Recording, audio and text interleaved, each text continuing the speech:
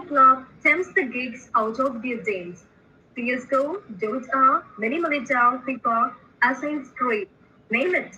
The geeks are ready for it. They come together at the end of the hard day to loosen up and just enjoy themselves, building a sense of togetherness and brotherhood. It's very necessary to balance work, play, and leisure for one's health and well-being. Now, I welcome our chief guest, Dr. Ushaa Eswaran, CEO of SEE, who aimed at enhancing the employability of youth with 30 years of experience in the field of education and industry. She has held leadership positions in engineering institutions as Principal Director, Dean and Placement Officer. Hence, I welcome Dr. Ushaa Eswaran to inaugurate and share a few words on the theme Gaming World. Welcome you, ma'am.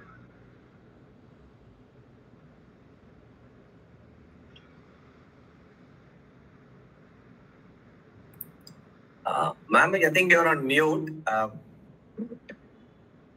Okay, thank you so much, Shadlin. I was really shocked when you left due to some uh, technical issues. You're back to introduce me. I love your smiling face and the way you talk. You know, keep it up. Thank you so much. And uh, I would like to congratulate Madam Regina Jeppiar for such a such a such a wonderful initiative because something memorable on this day is uh, is is amazing, and this is going to take the college to a long long way, and that is the dream of the oh, I mean, your father, and you're taking it forward. And I'm extremely happy for one more thing that I'm going to inaugurate something which is a forum for fun.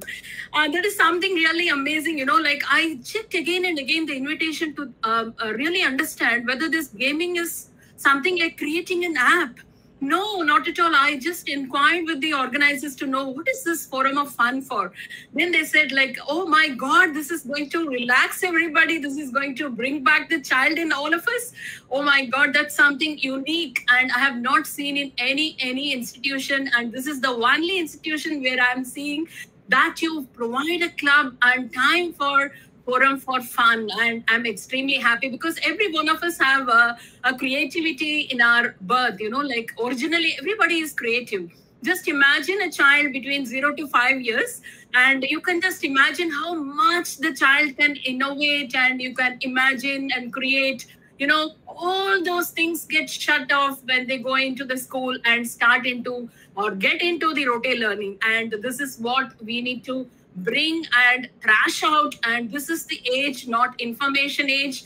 This is going to be a conceptual age which is called as an age of ideas.